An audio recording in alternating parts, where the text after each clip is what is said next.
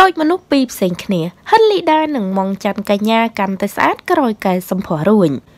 បើនិយាយដល់តារាចម្រៀងស្រីពីរដួងគឺកញ្ញាហិនលីដានិងកញ្ញាម៉ងច័ន្ទកញ្ញាប្រិមិត្តប្រកាសជានៅចាំថាតារាស្រីទាំងពីររូបនេះ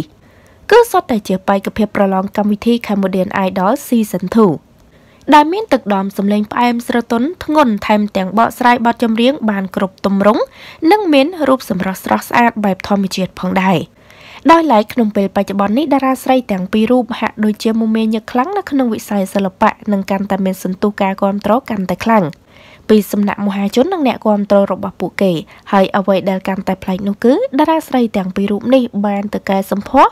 ជាមួយនឹងច្រមុះរបស់ពួកគេលើកខ្ទង់ខ្ពស់យ៉ាងស្រស់ស្អាតខ្លាំងរហូតអ្នកគ្រប់គ្រងមើលមិនចង់ស្គាល់ពោលគឺ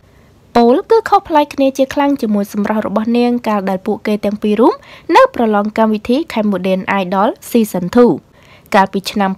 2016គឺប្រៀបដូចជាមនុស្សពីរផ្សេងគ្នាអញ្ចឹងលើសពីនេះមាន fan fan ជាច្រើនក៏សរសើរពេញពេញមាត់ពីសម្រស់របស់តារាចម្រៀងស្រីហិនលីដានិងម៉ុងច័ន្ទកញ្ញាថាពិតជាអភិវឌ្ឍខ្លួនរបស់ពួកគេទាំងពីររូបខ្លាំងណាស់មិនថាតែការបកស្រាយបទចម្រៀងកាន់តែពីរោះកាន់តែមានភាពជឿជាក់ និងរូបសម្រស់វិញមិនបាច់និយាយគឺស្អាតញាក់តែម្ដងរហូតដល់ fan fan មើលតារាស្រីទាំងពីរនាក់មិនចង់ស្គាល់បើមិននិយាយបើមិនបង្ហាញឈ្មោះនោះចាពិតជាប្លែកក្រោយពេលដែលកាយច្រមុះលើកខ្ទង់ខ្ពស់រាសីរបស់ហិនលីដាក៏កាន់តែខ្ពស់ដែរបន្ទាប់ពីចូល Galaxy